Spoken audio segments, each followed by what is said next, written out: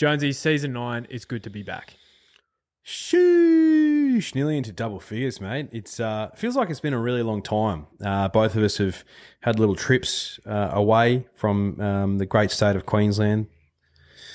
You know, we're a bit of a freshen up. We're ready to go. Yeah, we we only talked about those trips for about I don't know five ten minutes from memory. Yeah. have, you, have the drifters ever travelled overseas? Because you know, I feel like we were talking like they never had. Yeah. But no, we, we had a blast, mate. We had a Yeah, blast. it was good. The Winx Stakes this weekend. Uh, We have we have some of- opinions. We do, yeah. It's um, it's it's a Group One, definitely. There's a lot of Group One horses in there, but they're all resuming, mate. So it makes it a little bit tricky, but it'll certainly set the tone for the rest of the spring. Yeah, absolutely. We answer some drifter questions, but of course, we need to welcome back again our wonderful friends at Neds. Yes, uh, the lovely people of Neds, people at Neds, have come on board for another season. Uh, sure to be a great spring for them. Um, so if you're going to have a little, you know, little something something on this weekend, make sure you do it with the good people at Neds. Uh, you can do everything that you want with them. You can get weird and exotic. There's the same race multis, which is a great feature that they have as part of the the punters toolbox. Yeah, And there's also the profiles. yeah. Profiles are huge. Um, had a few few people jump on last weekend to no avail, but that's the risk you get in this great game. But yeah, the profiles it's it's not too far away. Definitely. So uh, full steam ahead for season nine. Let's go. But what are you really gambling with? For free and confidential support, visit gamblinghelponline.org.au. I need to ask you a question. Be curious, drifters. Mr. Brightside wins the vault and wins again. Zardozi wins the Oaks for J-Mac. The photo finish. Mr. Brightside or Romantic Warrior. The mare's going. Great guns. Fangirl. Look at her go. Fangirl. Imperatrice has got her.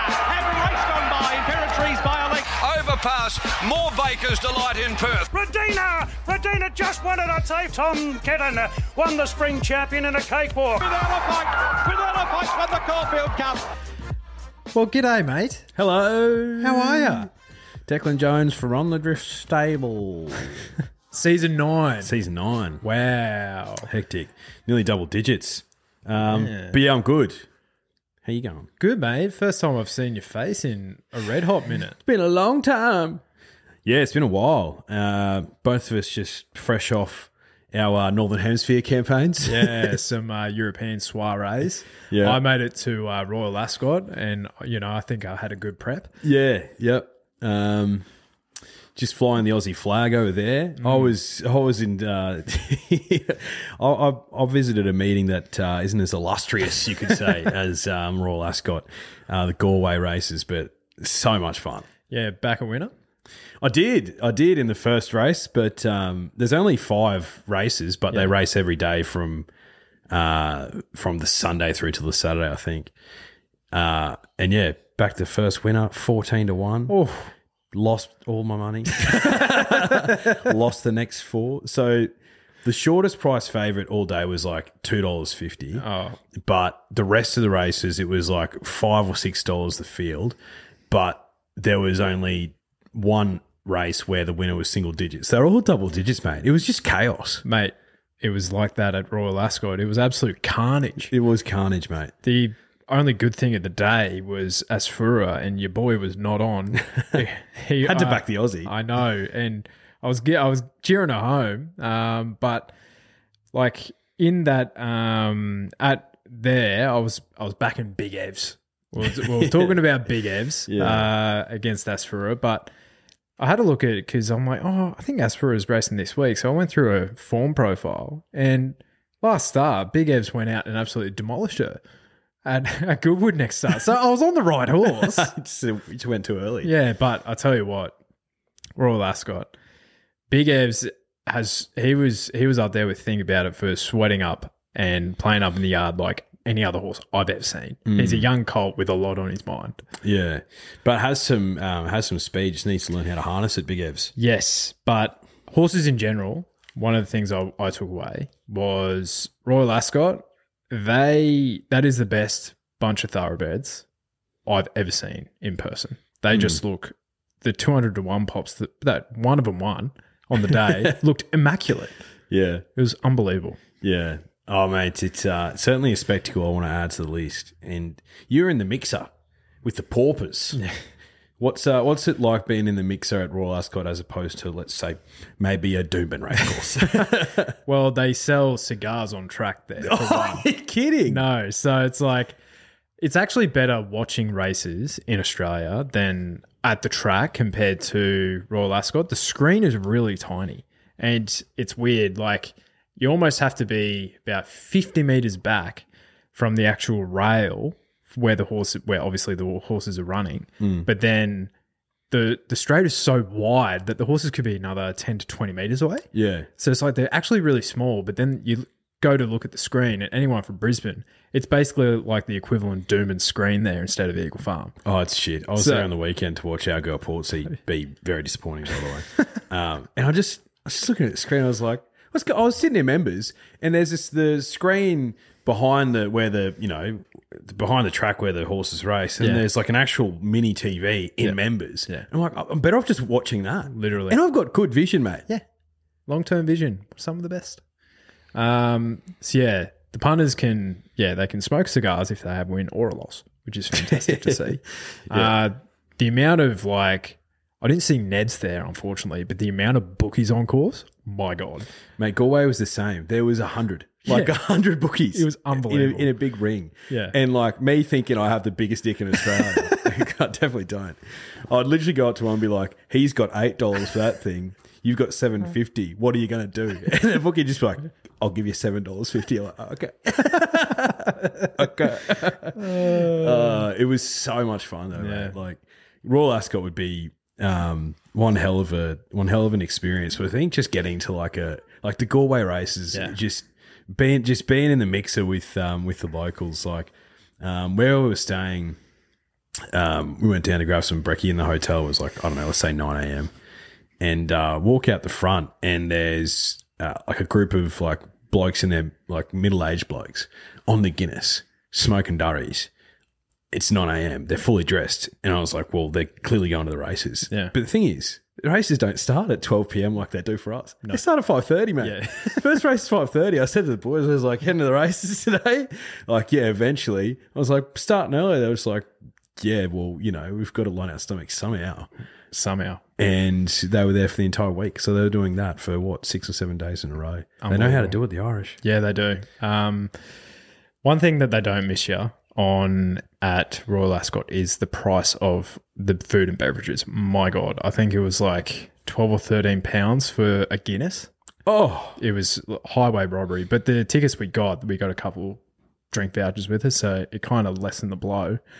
Um, so yeah, as for a one, and some of my best bets of the day were just like falling just short, uh, which was a real shame. But I won it all back with Pledge of Allegiance in the 4,000 meter race. Zero form over the trip. and he just led the entire way and just ground him into the earth. But so what also happens, right? so we were because it was actually really poor to actually watch it um, live from like the track. So we were actually going because there's a massive screen in the mounting yard there, and you see all the all the connections there, like in their top hat and tails, sick. just absolutely whipping them home. Um, so we were like, oh yeah, we'll do that, and there's a bit of atmosphere there. Anyway, I went down uh, to go get beer and come back, and they shut everything off. They're like, oh, sorry, mate, you can't go go there. I'm like, oh, because I thought I had like a spare five minutes for a five four thousand meter race. And they're like, "No, sorry." And I'm like, "Oh, why do you why do you cut the, uh, shut this down?" It's like, "Oh, just in case like the king wants to come round, because the king and queen were on On on, course. on course as well. So that was disappointing. So I was watching Pledge of Allegiance win on a tiny little, tiny little screen there, but it was still a good win. Winners win. Yeah. Um, something else I noticed as well is uh, I don't know what it's like at Royal Ascot, but for some of the races they don't have barriers at Galway. Oh, were they over the jumps? Yeah, Yeah, that I think that's pretty consistent. yeah, Yeah. and they just sort of canter up and they just go hell for leather. Yeah. Abs- absolute insanity. Oh. It was a five and a half thousand meter bloody jumps race. That's tough. Yeah, what was it? It was tough. Willie Mullins had a few. Mm-hmm. Um, he had a couple winners on the day. Uh, like he'd, he'd usually have the th- you know the three dollar fifty favorite, Yep. and then his other horse, Stable, the, 15, the fifteen to one, would win. Yeah. The pacemaker, of Yeah. course. yeah, of course. Yeah. Just makes sense, just right? Finding other ways to fuck you. but uh, no, mate, Royal Ascot very jealous. Um, but it would have been a, a hell of an experience. Hmm. Um, did you run into many Aussies when you were on on the track? There was a few there. Um, I saw, Barracan for Asfoora. yeah, I saw, yeah, there was tons there. A ton of the Poms were on Asfoora, mate. She had one of the great plunges, probably the biggest plunge on the day. I think she was like 12 to 1 race morning she got into sixes. Yeah, wow. They knew, I didn't. Um, but yeah, there was a few Aussies there. I saw on socials afterwards. I'm like, Bjorn Baker was there, Gai was there, Craig Sneesby was there. CS was there. Um, and and the rest, I was like, and I was like, they, they were like standing right near where I was. I'm like, how did I miss them? How'd you miss all that? There was so many people there, and it was hot, Was it? very hot. Yeah, it was like the sensational Queensland weather that we're having right now. Oh, it's just beautiful, isn't it? Yeah, it is good. So, outside of the racing, mate, any other trip highlights? Oh, so many. I think. Uh, I think just um, drinking Guinness, literally uh, from dusk till dawn, was a highlight for me. It was, it's like a big UK pub crawl. Yeah. the greatest pub crawl of all time. Uh, I'd say the Scottish Highlands was phenomenal. Um, getting to the Isle of Skye and visiting a couple of whiskey distilleries and blowing myself up on by accident when I did a whiskey tasting. It's like, oops. You, you, so you're literally sipping some of these whiskeys. You're like, oh, gee, yeah, that's pretty good. I don't mind that. And you look down at the little like accompanying card with all the the whiskey uh, information and the and the tasting notes that the, the said whiskey might have, and it's got ABV, and it's like fifty five percent. Holy shit! Damn. Mate, one of them was sixty percent. Blew blew me up. Got the bloody C four out. Yeah, right. Um, so yeah, that was great, and and yeah, loved loved Ireland, loved the races. The races were a real highlight. Um, but the number one uh, jewel in the crown was going to Coolmore Stud. yeah. Um, get a hat from there or anything? No, so, so I don't know if we're just different in Australia, but I feel I feel like Australians are big on their merch. Yeah. like you go to some shitty coffee store, Yeah. coffee cafe, whatever. Like down the road from your house, and they've got their own t-shirts and caps. Of you know what I mean? Like, oh yeah, if you want to buy a coffee and also a twenty dollar cap, go for it.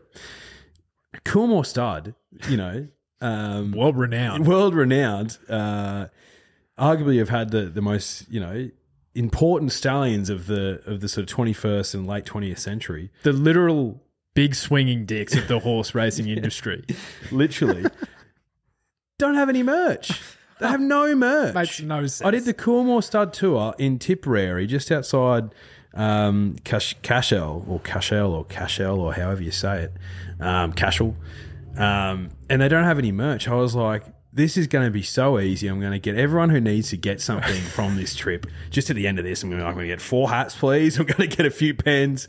I'm going to get some stubby coolers. It's going to be bloody brilliant. Um, but yeah, they, they don't have anything.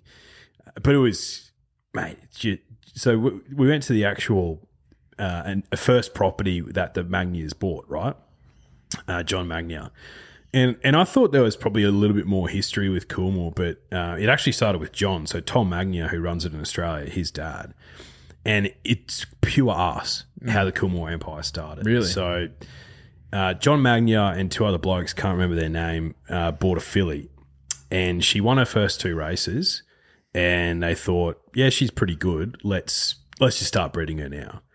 So they took her to either Northern Dancer or Danehill. I, I can't remember.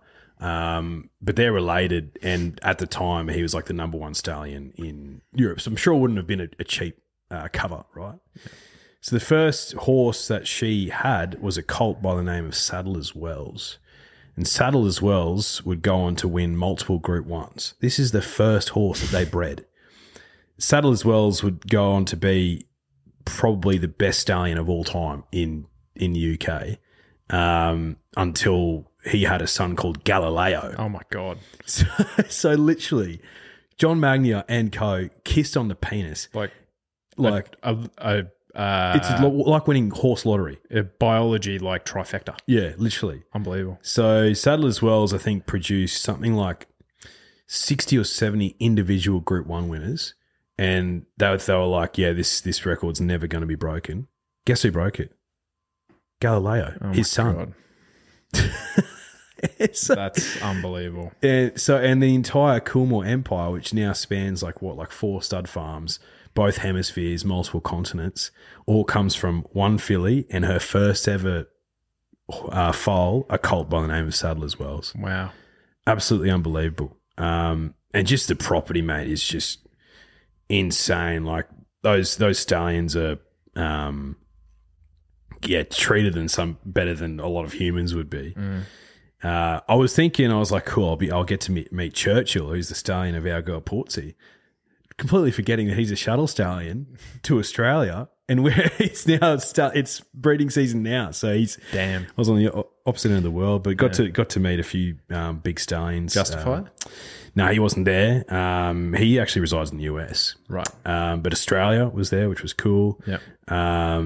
A few others, I can't remember his name. Seamus Ward over there, is he here? No, Seamus Ward's here. uh, Is he he's, he's not. Cornwall? He's not Cornwall. No. Right. Um, but just yeah, it was got to meet some stallions, which was really cool. Um, and uh, yeah, stayed at the Cashel Palace, which is owned by the Magnier family. Um, it is like hectic, hectic place, drifters. Like I'm talking, if it's like a horse racing enthusiast's wet dream. There's a bar downstairs in the palace called the Guinness Bar, and they just have like um a lot of like memorabilia and like sign stuff. And it's not just like British horse racing, it's also Australian horse racing. Like send Hutch some some photos of like cartoons of Everest winners. Yes, yes, yes. Um, Gai Waterhouse has signed something in there. Chris Waller, so on and so forth. Uh, Black Caviar's got a couple of things in there. Uh, rest in peace. Uh, yeah, it's just big biggest highlight of the trip for me. Yeah. Like as as a horse racing guy, like Of course. I was walking around with a semi for, for two for two fucking days, mate. Nearly passed out. Well, I'm glad you made it back, mate. Because uh, there's there's a lot there's a lot for us to talk to, and you just mentioned it as well. But black caviar, that was really I was I knew exactly where I was when I saw that news. I was in the car coming back from Australia Zoo on Saturday. Australia Zoo. Yeah, belated gift to my dear old mum. So, uh, but yeah, shattering, Hmm. Yeah, shattering. it sucks. Yeah, it sucks. Um, 18, you know, um, which isn't isn't young, but it's not old, I guess. Um, Middle aged. yeah, so really, really sad. Uh, obviously, they did everything they could for her. Um, you know, it's interesting to see all the people who became experts about horse racing and Yeah, and equine health uh, after the death of Black Caviar, but um, oh, mate. un- unfortunately lost the foal as well. yeah, it's interesting that they don't do that for an unraced filly that has has the same fate. Yeah, exactly. You know? it's interesting. So, uh, but Black Caviar, I think we're actually really lucky from to actually see her for 25 races at the track, 10 time Group One winner maybe, um, across multiple states, international. Because from what Moods is saying, that in the current day she probably doesn't have more than three starts because she was that uh, injury prone, and I guess her her walk was a bit uh, not as not as proper as I guess the vets would want it to be in the current times. such a such a brute of a horse. that I think her um Her gait, her gait was just you know you see those athletes who are just enormous. Like I don't know why he's the first to come to mind, but Marcus Adams Mm-hmm. came to mind. Just like built like a brick shit house, but just couldn't get on the field. that is an obscure reference, but you know what I mean? Like he's he's built like a fucking swimmer. yeah, yeah, Um, and just couldn't get on the pitch because he's too big for his rig. Mm. Too much pressure on his joints. yeah. Um, but yeah, from what Moods has said, she yeah had issues throughout her entire career, and he probably was going to scratch her um, from the the race in Royal Ascot. So The she's still on. the compression suit that she wore over there, unbelievable. Unbelievable. Like how imagine like putting that order. G'day mate, how you going? Um bit of a bit of a strange one. Uh you know that like skins that Jonathan Thurston wears. Like can we get that except thicker and for an equine athlete? Oh man. So yeah, Varley, Black Caviar, one of our favorites, probably probably uh, one of the horses in a very pivotal time for us that really got us interested in the great game. Like she was she was the Winx before before Winx. She they're kind of like neck and neck for me for the greatest of all time. Yeah, I think so. I think I think where you could argue that Black Caviar's ahead is the, the unbeaten record, Yeah. and she went overseas and did it. Yep. Um, which which Winx did not. In our most difficult um I guess category of racing, Yep. sprint racing. and and to see the horses that came out post her retirement who raced against her, like Hay List. Yep. He in any other era he'd be a ten time Group One winner, and I think mm. he probably ended up with three or four maybe mm. because of Black Caviar. So, mm. and there's a couple others buffering, mm-hmm. like Like Buff Buff went over to here Dubai, didn't he? yeah, Yeah. Dubai. Yeah. Which is hard to do. Um so yeah. The big buff. Mm. Anyway, rest in peace. rest in peace. Now, we are feeling generous to kick this season off. So, what we're going to do, you might be seeing it on my head and Declan's head at the moment, but we have some new caps that the order has finally come in. So they will we will put up put them up for for you to buy somewhat soon, but it's a bit of a process. So just just calm down Take it easy. and be patient. But one lucky listener will have the chance to win themselves one of these. We also have some of our old cord caps, the the version one with the old logo. so the vintage, they're a vintage edition. But the best review from this week's podcast will win themselves one of these and one of the old caps. Uh, so you, what you'll need to do is give us a five star rating, and um, ideally this would be on Apple Podcasts because that's where the reviews really live. But if you do listen on Spotify, give us a follow on there and reach out to us on IG with some nice words of uh, encouragement as well. And if you watch on YouTube, make sure you subscribe and drop a comment for your chance to win. So we'll announce that either this Sunday's review podcast or next Wednesday as well. Now, we asked the drifters during the week yesterday to kick things off. Just basically, if they had any questions for us or any predictions that they had as well. So I have a prediction here from Adam Anitz. Adam Anus. yeah. Hello. what? What the hell? Old double A. Battery. The battery. uh, prediction. Broadsiding to win the Cox plate with J Car riding. Great take. Yeah. Great take. Uh, particularly with Jay Carr because he'll be. he'll- Is it 49 and a half this year or is it? yeah, um, yeah, I don't know how that works, but yeah, sure. I think, Same I, same weight as Anamoe, I'd say. I think he can win a Cox plate. Okay. He was very impressive because we didn't do a review podcast on Stradbroke Day. No, he didn't. Uh, who's who's my thing that won the uh, two mile race? Oh, Allegron. Oh, how good was that? Yeah, so good. And he drifted to seven dollars. Ridiculous, Anyway. ridiculous price. So, all right, let's have a look at that Cox plate market. May as well. It's never too early to look at futures No, markets. especially the best best race we have. Yeah. Um, so, Team Red Cox plate. Pride of Jenny five dollars. Prognosis sevens, Via Sistina sevens, broadsiding twelves. So he's fourth favourite at the moment. Yeah, I'm a. I'm not knocking Pride of Jenny at all, but I'll definitely take her on as favourite of Cox Plate. Yeah. I think, yeah, Okay. yeah, Like her last run at two thousand meters was pretty impressive. it was pretty good. But I think, um, I, yeah, just I, I think I'd take her on at 2,000 meters as more so than I would a mile. Yeah. Yeah. Okay. Just, just my feeling. yeah. moment. Hey, that's fine, mate. And broadsiding couldn't be any more impressive because I think the one knock that we were saying at the time was the rock hard track. and it proved to give him another leg. it was unbelievable. It was unbelievable. Maybe it's a really poor crop of two year olds. And maybe he's the best of them, but he's giving me Anamoe vibes. He's giving me Anamoe vibes. Yep. and I think he's actually proven that he loves the slop, which Anamoe didn't. So no, no. And I think from what I've seen so far of him, of him parading as well, temperament might be a little better than Anamoe. Anamoe, Anamoe was a bit of a dude. yeah. Yeah, he was. And sometimes he didn't want to be there. no. no, but on the day, broadside and just took it in and he was like, Yeah, all right. Yeah. Yeah, job done. Let's go. So yeah, I like that. Cooper cordless of lacking a cord Has zero chords. Um, question: Is Pride of Jenny ready to back up the stunning spring that she had last year? Now, I think she's already backed that up in the autumn, but her last twelve months, will she back it up? Oh, there's no reason to suggest why she wouldn't. I think, um, I think the key to her last spring, is from memory, you know, she got beaten by Amelia's Jewel and then and then she won two Group Ones, was it? Like Yeah, the that- Empire Rose and then the Champions. I think she went down in the? Toorak as well. Yeah, okay. She finished third or fourth in Toorak, which uh, that um Attrition yes won. And- was second. yeah Yep.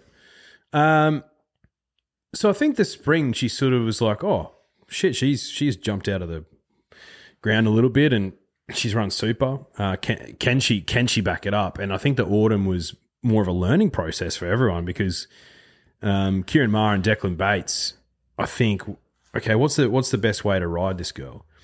And it's it's not it's not just lead on her and kick. It's actually go at a breakneck speed. That's the best way to ride her. And I don't think they did that every run last prep. No. But when they did, Yeah. was when she ran her best. So I think if she can, if if Declan Bates can learn how to harness that and do that each and every start, this prep, yeah, definitely she'll exceed what she did last spring and, and maybe even what she did in the autumn. like she's two dollar favorite heading into the Memsie, um, there or thereabouts, uh, fourteen hundred meters at Caulfield. So, I think um, in the spring she was sensational. Don't get me wrong, but she also had two leader bias days, and then she mm-hmm. backed it up well and truly in the autumn. It's like okay, yes, she was assisted by that bias, but instead of winning by three lengths, she was winning by yeah, whatever she was. And then that Queen Elizabeth was absolutely breathtaking. So, absolutely. Now, Josh Buttonshaw, a comment and a question. That Toey for the return of the podcast, fellas. Horny. Love to hear it. Mm-hmm. Uh, what group ones will the Prince of Scone, Peter Snowden, be winning this spring? Uh, well, he's flying solo now, isn't yeah, he? he is. I have some suggestions if you want to hear me through. Yeah, do that. Drifting. Now, Smart ap- little filly. aptly named Yep. for this podcast, but She might she might be our favourite horse. Yeah. Uh, did I have a wager on her last week in the Quezette? No. Did And I? Yes. She just found the front and just kept kicking. So I think she's she's a smart one. Uh, Bodyguard is another one within there. Uh, they're stable. So he arguably could have won a blue diamond if he didn't get scratched during the week. Um, the one who I have a love hate relationship with is the King, King of Sparta. He could win a Manikato or something, He could. He could. or Uh, a Winterbottom or something. yeah, he could. Look, I think if if the Snowdens are going to win a Group One, or if Peter Snowden, sorry, um, is going to win a Group One, is it? I think it's got to be with something new. Yeah. Maybe maybe new three year old burst onto the scene. Uh, I- I think Drifting's a smart little filly. I think she's a Group Two, Group Three filly at best. Yeah. personally. Yeah, yeah. And they had that um that colt who raced on in the week on the weekend in Sydney against um Gatsby's. yeah, ran third and uh Is it that me- media? no, it was in the China Horse Club Silks. Oh, okay. yeah, yeah. Yep. I'll get the name of it. So yeah, I think I think it'll be. I haven't even sort of thought about the Coolmore market, but you know, I wouldn't be surprised if there's something jump out of the ground. High octane. Yeah, you know, I don't, I don't know. Yeah. So I think there's some room to move, some room for improvement for the snow, uh, for Peter rather. Yeah, just for That's just gonna- Peter, Yeah, that's going to take some uh, just for adjustment. the, the Snowden. Yes. Now, Jordan Sondergold, if you could own a horse for the spring, who would it be? Uh, one with his nuts still attached to be broadsiding easily because because if he wins if he wins a couple more Group Ones, which I think he will, like how much how much cash am I worth? Yeah. Um, and like, I love a three year old colt who can measure up at weight for age over the middle distances. So, um, yeah, he'd be the one for me. Um, I'd say the other one, and he he's a little bit forgotten, but he's been in the headlines a little bit after a uh, after a trial this week. Uh, Giga Kick. That's where my mind was heading is like, do you go for tradition for the three main features, Cox Plate, Caulfield Cup, Melbourne Cup, or do you go for cash? And I was having a look at the cash market for the Everest. I Wish I Win's $4.50 favourite, but knowing I Wish I Win and Moots, it'll probably be his only run for the prep. Yeah. So it's like, all right, you have one crack at the cherry, probably not my cup of tea. So um, the other the other cash option is obviously the Golden Eagle. And moving to the four year olds, the favourite in that race is Celestial Legend. I forgot about him. He's definitely one of mine. He's still got his nuts attached. So, So, he, he he's could go right up there. He could go for an Epsom, Mm. like go f- back to back in the like mile handicap features. Uh, Don already winning a Doncaster, so he could win an Epsom. I feel.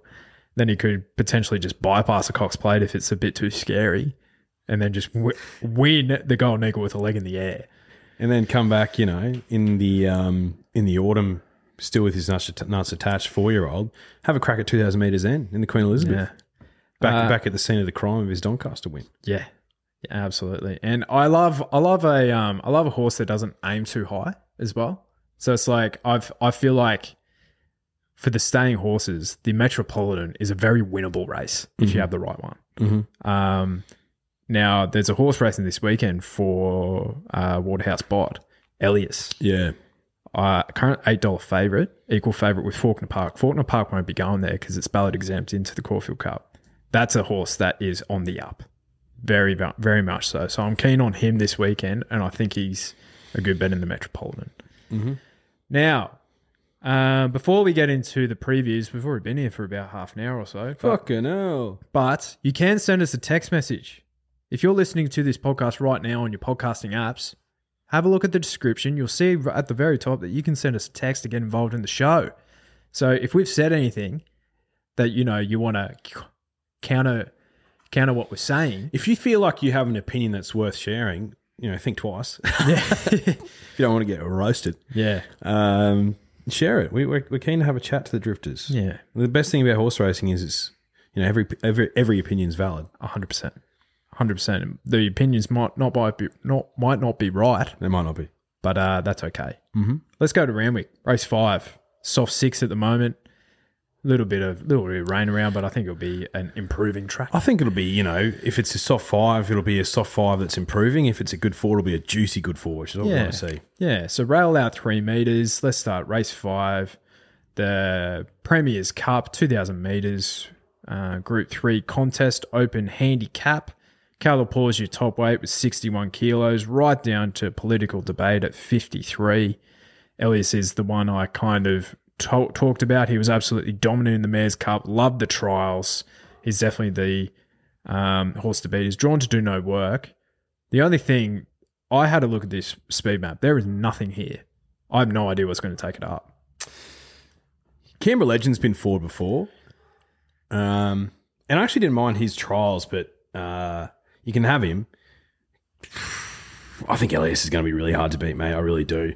I think the other one that you probably, speaking of Peter Snowden, that you could have a throw at the stumps with at eight dollars fifty is touristic, um, just because he's into his prep and he's rock hard fit. He might, you know, um, he might just get the one up on Elias when Elias is resuming, maybe. Um, but uh, you know, it's a Elias is a horse like you said who's who's destined for bigger things than this. I think Yeah. French horse. French. Uh, parlez-vous français? Yes. Um, I've forgotten how to say hello. Bonjour.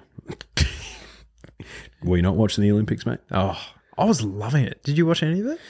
Yeah, I did, but being being in the UK the entire time, You were doing stuff. yeah, I was doing stuff during the day when the Olympics was on, but it was still going by the time we got home at night. But it was, you know, each hotel only had the BBC, and mate, I tell you what, the English like they they would be showing replays of one of their shitty athletes who who in their words won a won a medal in a in a in an event two days prior and they've scraped home for bronze in fucking I don't know something like diving or some running event and they just show it on replay and it's like it's like can you just put like maybe the basketball on where Serbia is playing Australia Yeah. you know what I mean Yeah.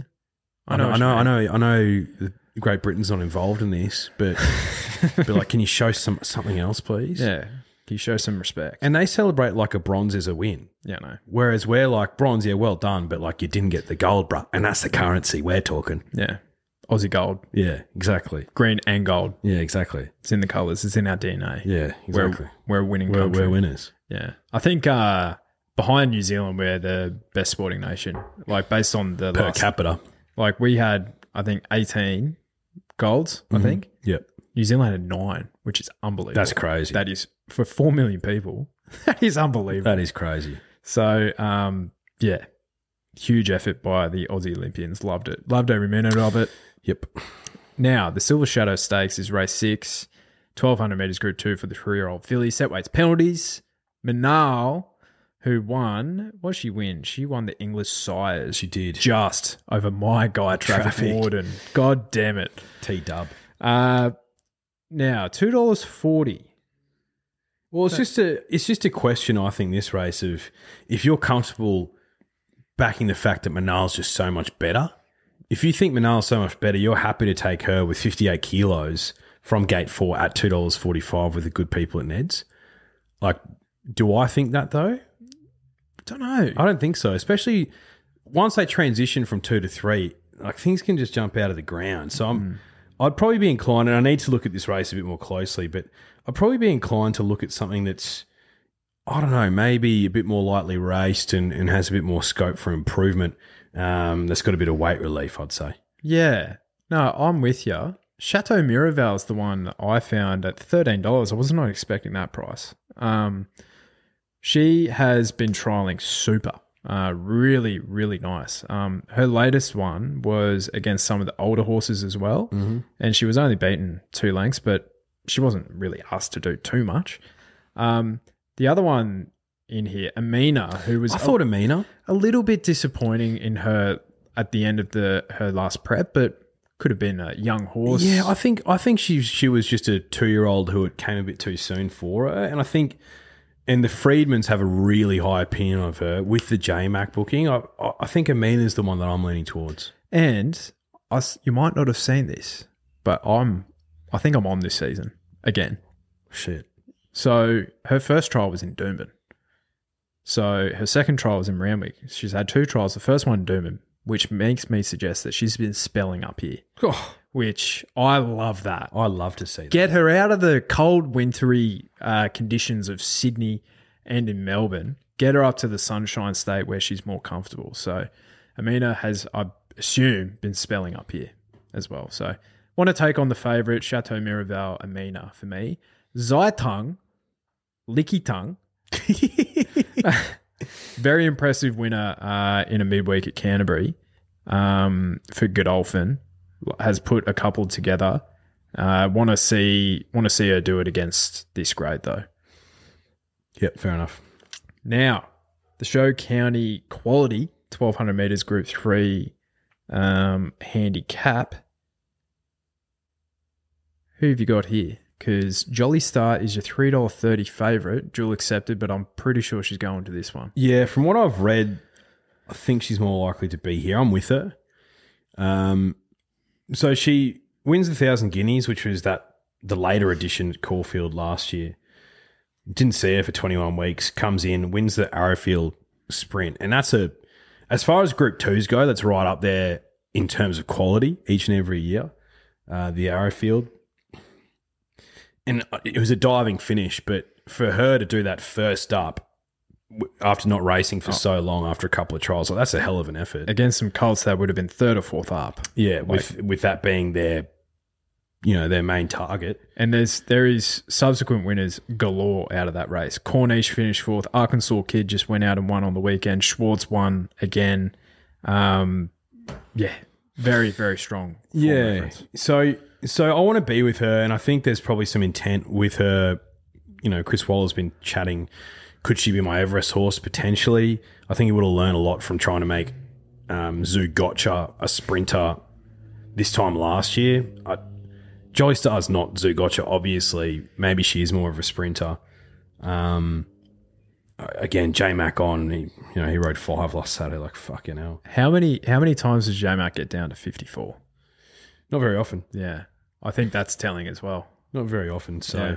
I hope she's here and and because of the nature of the race as well, like like Southport Tycoon's got to carry fifty nine. He's first up um, over twelve hundred meters. He nearly won first up over twelve hundred meters last prep.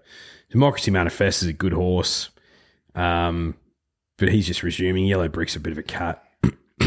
um, The one I couldn't place was Airman.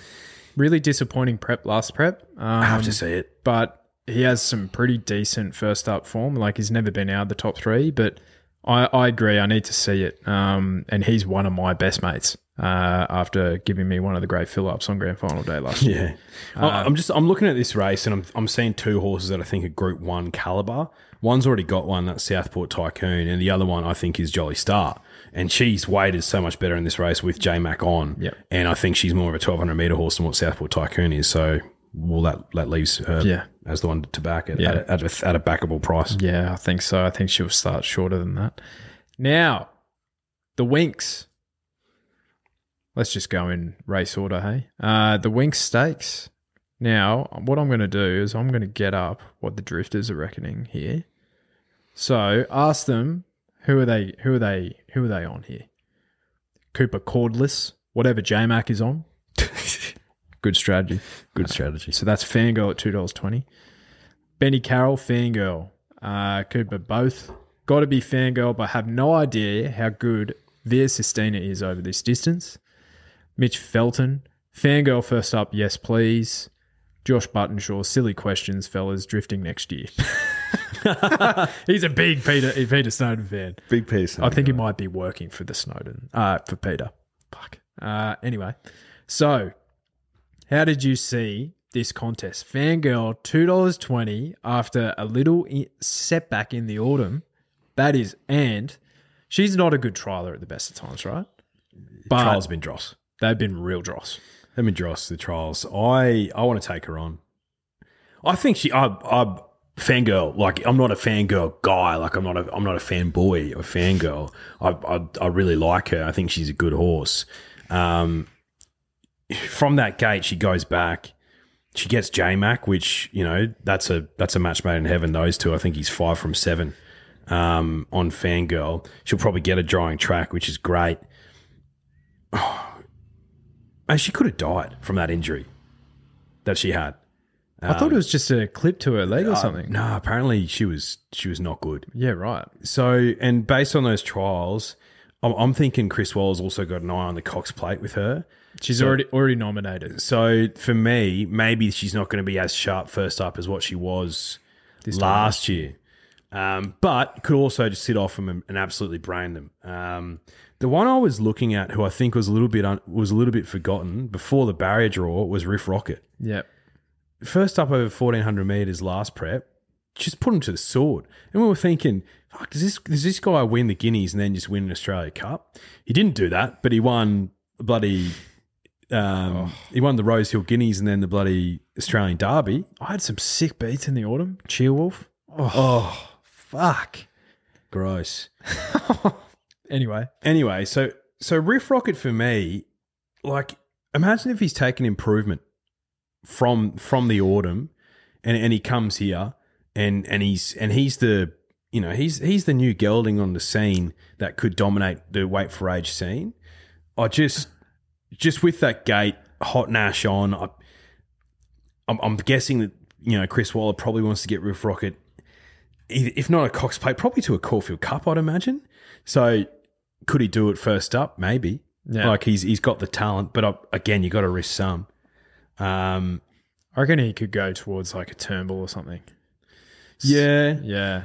Yeah. Um, but all right, just counterpoint, right? That 1400 meter contest. Very good. Very fantastic performance. This Hmm. is who he beat King Colorado, Verdad, Otago, Hey Fat Cat, Cap Ferrat, uh, going down the order here, Tannhauser. That was before the gelding operation, to be fair, and a Mur.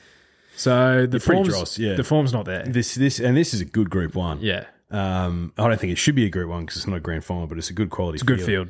Um, hate the Silks, but you know, noticeable change. Number eleven, Tropical Squall, Forgotten horse. Forgotten Horse, and she's already come in. She was eleven bucks when I was looking at this earlier. and a lot. There's a lot of back markers in this race. Mate. Do Um, you know what she does? she zooms forward. She zooms forward, makes her own luck with Adam, Adam Hippopotamus on. like, sure, would I have preferred barrier three over barrier not uh, barrier eleven rather? Sure, I would have, but Yeah. it doesn't really matter. Not I in don't this. Not in this race. no.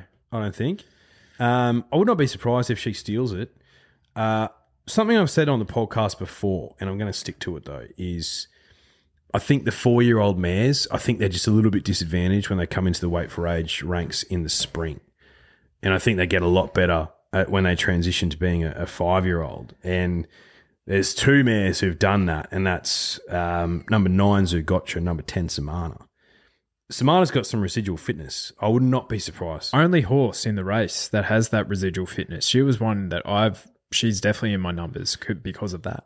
She she was super. Didn't miss the top three last prep. Um, Ciaron Maher wouldn't be surprised to see him spoil the party, but I've got to be with Zougotcha. I think for her, she she's not stretching out to two thousand meters like all these other horses, and I think Chris Waller has probably kept his cards pretty close to his chest, you know, because he doesn't want to spruik which whichever one of his horses because he's got all the most important owners in Australia to please.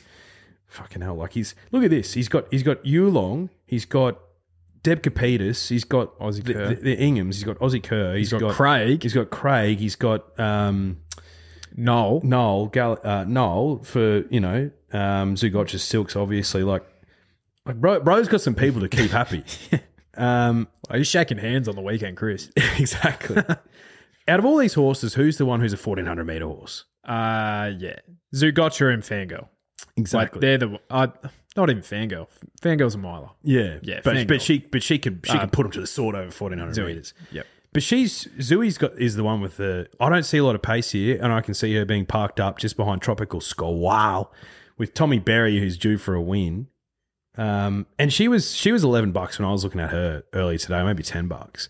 And I'm thinking to myself, well, well, that's the play for me. Yep. And obviously a little bit of bias there, but I, think I think she can get this one. Yep. But she's not beating any of these as they stretch out over further. No way. Like if she goes to a King Charlie, you know, over a mile, and Fangirl's there, and a few of these other ones are No there. way. Like I just don't think she's that good over a mile compared to them. No. Whereas fourteen hundred meters, I think it's equal equal footing, Yes. so to speak. And I think uh, in the Coolmore in the uh, Queen of the Turf, obviously she won both of those in the in the autumn and the Millie Fox, all against the girls though. All against the girls. Um, So they they would- they ain't they ain't some vintage boys in this race, but No, but yeah, against the girls. But the girls didn't include Fangirl or Via Sistina at that time. exactly. Uh, It did include Atishu who Atishu just needs Flemington two thousand meters or sixteen hundred. That's what she needs. Um, tropical squall. Tropical Squall. I think she just has the most intent here. Yeah. Uh, Oh, definitely, mate. They they they know if she's going to win one, it's this one. Exactly. up. And she's already won two, uh, two or three. Group one. She's got two. Yeah, she's She's got won. a surround. Yep, she's one, two. This is the perfect opportunity to just tick that U long, wait for age against the boys, doesn't matter who. Same for Zougotcha as well. Um, group one box. So Tropical Squall on top for me for all the reasons that you outlined. The only thing I will add is she was my on top selection in the Queen of the Turf.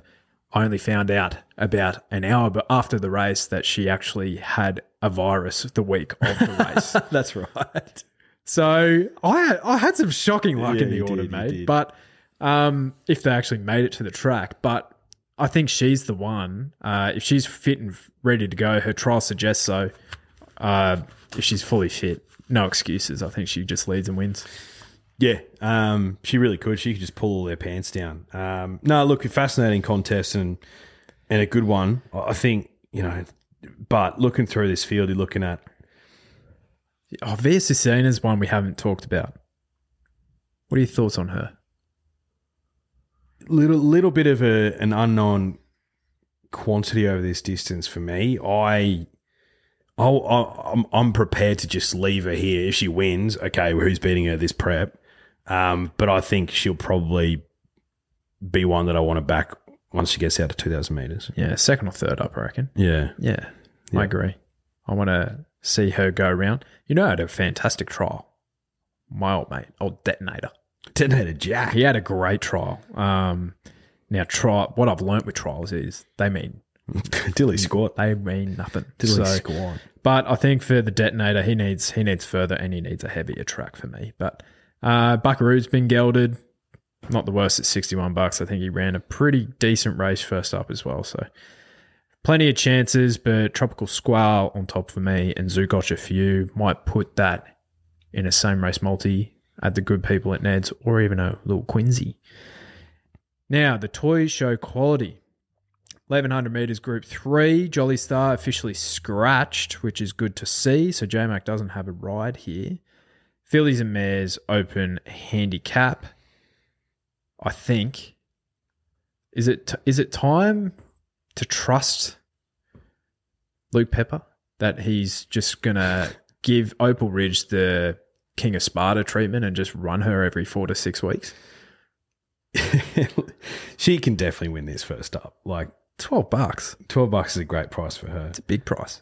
Um, the two that I, I was looking at though, sort of mm, the Black Cloud and, and commemorative, Mm. um, are probably the two sort of more fresh on the scene down in the weights that that I think uh, I think I might be leaning towards. But yeah, Opal, ugh, like like eleven hundred meters, like she hasn't missed a Quinella. Uh, first up, her record reads five starts for four wins in a second. Like at that price, I'd be I'd be pretty mad at myself to let it go around without me. Yeah. Um, especially on a drying track. Uh, I, I wonder what they they aim with her. Like I think they sort of with Opal Ridge, you sort of think let's just let's just try and get some black type with her this prep because she her residual value is there anyway. You know what I mean? Like I don't think she's She's won three listed races and ran second in a Group Two once. yeah. So get get a Group Two or Group Three win or a couple. I, I don't I can't see her winning a Group One. No, no way. So uh, I'm looking at her. This is a Group Three level, and her performances there. She's run. She's run fifth behind Alentia Portrait and Magic Time on a heavy track, which is not her go. And she also ran fourth behind Magic Time, Paracel, and Lady Laguna. So that's probably her. yeah, but I th- I don't know. I think it's I think this is a winnable race for her. Hmm. Mate, Lady Laguna could win this even though she's got 61 kilos on her back. It's a lot of weight. Yeah, it's a lot of weight, but she should win it. Yeah, and we, you finally saw the bottom of her at the end of last prep in the Doncaster. She hmm. just had enough Yeah. Because she was she had one of the longest preps of all time, uh, and she just kept running in the first two. She really did. So, yeah, she could run a good race here. But so your Black Cloud or commemorative? Yeah, I just, yeah, I just think um, new kids on the block a little bit. You know, uh, Jack Pride with with the Black Cloud. You know, got a couple of couple of wins with her in the in the winter and eased her out, and you know, will she take some improvement out of that? I'm not, I'm not sure, but um, Yeah, yeah, don't know about commemorative.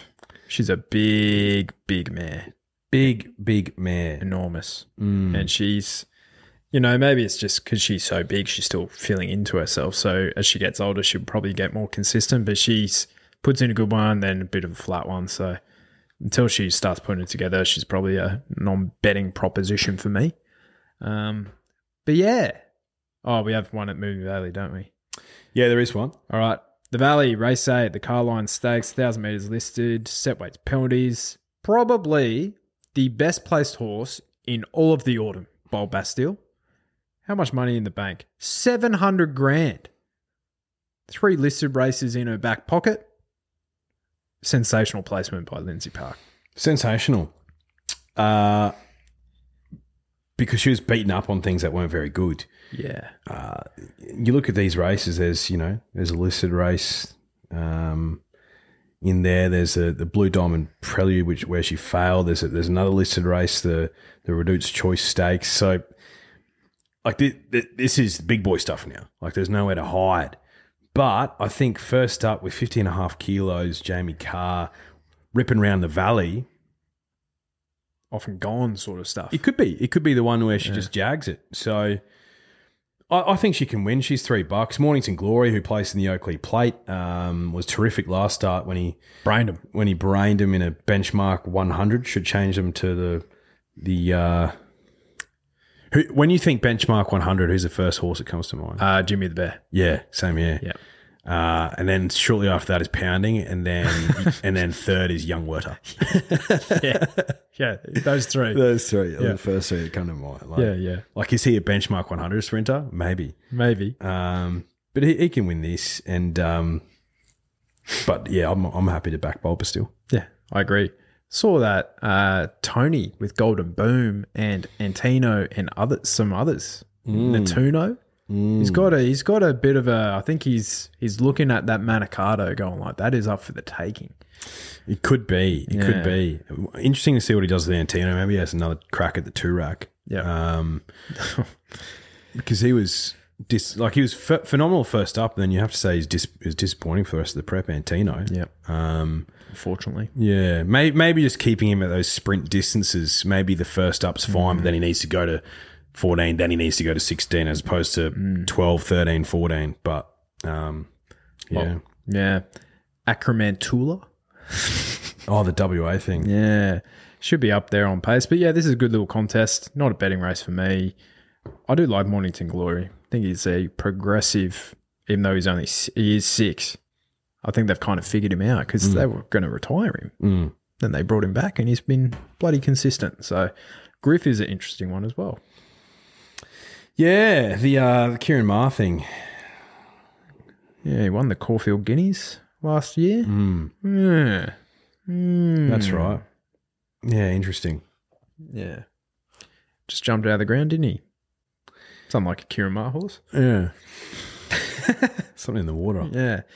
Um, we would obviously like to welcome back our fantastic friends at Ned's as well for season nine. Mm-hmm. Yep. Good, good to have them on board. Yep, great to have them on board, um, and probably probably an exciting announcement. I'd say at some point this spring that we can share with you guys Yeah. regarding. Um, I'd say the Entain family. Yes. Would say because we're part of that. Yeah, we are.